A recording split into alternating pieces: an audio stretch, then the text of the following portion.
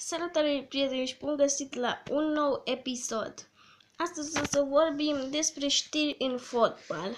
Desigur, un posibil transfer este Coutinho acum la Barcelona.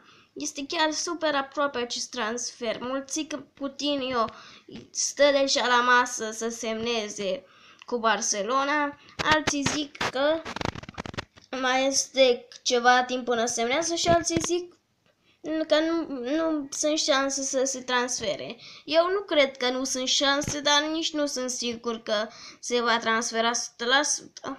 Eu cred în 50% șanse, cum ar fi. Acum, o nouă ofertă a Barcelona este pentru Eden Hazard. Un transfer bun ar fi pentru Barcelona.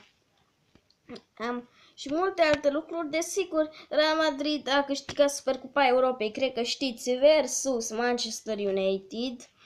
Am, și asta e.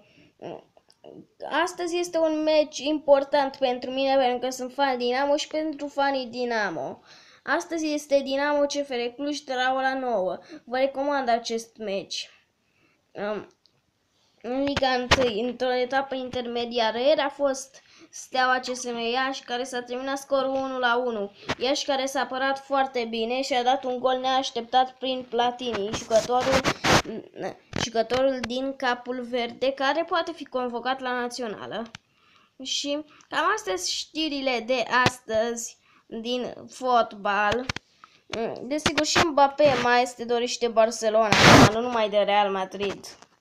Și, mm, desigur, știm cu toții și de Supercupa Angliei, golul lui Colașinac și ratările lui Morata și um, curtoarea penaltiuri um, a, au decis Supercupa Angliei, mi se pare. Desigur, ce a decis, decis cu siguranță Supercupa Angliei a fost faultul lui Pedro și a primit cartonaș roșu, pentru că fix din, a, și fix din acea lovitură liberă, nu știu sigur, dar după doar 3 minute, asta tot ce știu, după doar 3 minute după acel cartonaș roșu, a, au primit gol cei de la Chelsea și a decis mult, înseamnă asta.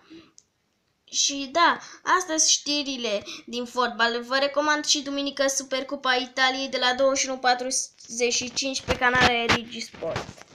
Pa, pa!